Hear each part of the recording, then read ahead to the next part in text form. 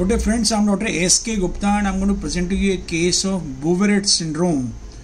Bouveret syndrome is a condition where the stone from the gallbladder passes into the pylorus through a fistula which develops between the gallbladder and the stomach.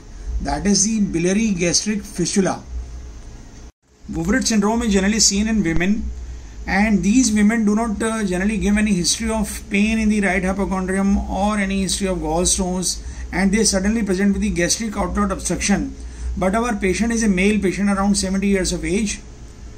This you can see that this is the gallbladder which is a deformed gallbladder though this patient gives a history of gallstones about uh, uh, 15 years back and he never had any severe pain or any peritonitis or any other abdominal symptoms and he is a known patient of diabetes and this is the gallbladder which is a deformed gallbladder. Some shadows uh, can be seen inside the gallbladder but they do not cause any shadow. We do not know whether there are stones or not but this is a deformed gallbladder. If i try to show you the gallbladder in the other view you can see that this is the portal vein over here and this is the gallbladder at the undersurface of the liver.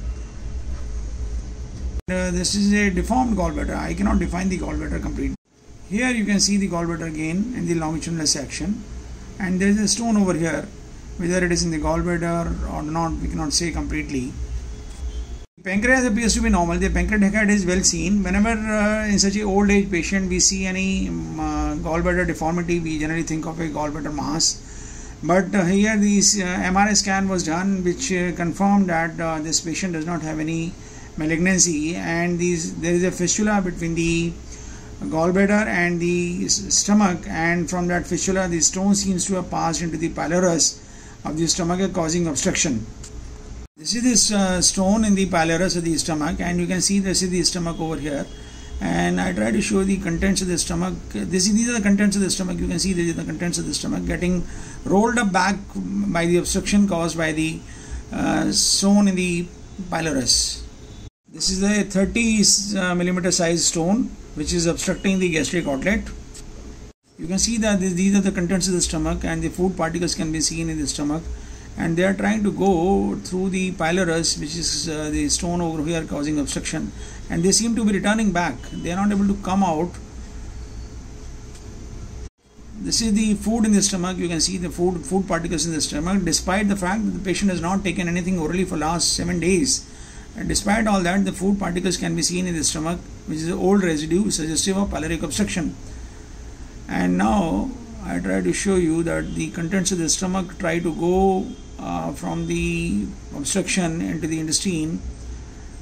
And these are the contents of the stomach, and you see that this is the pyloric uh, opening over here, which can be seen, and this is the pancreas, and you can see there's some some contents going down below.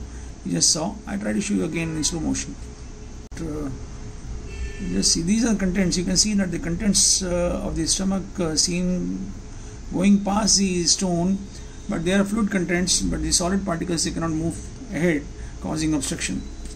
Another important finding that we are going to see in this patient that this is this is the dark line which is over here and this is the gas in the uh, bile system.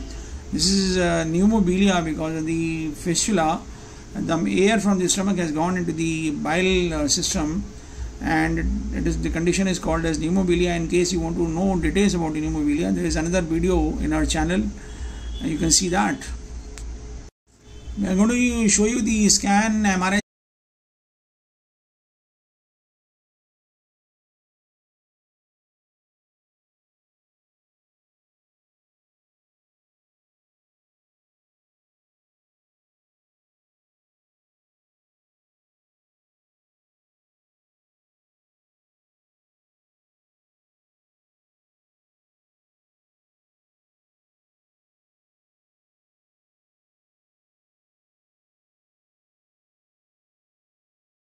case you like our video please uh, share uh, the video with maximum number of people and do not forget to press the like button and subscribe to our channel. Thank you very much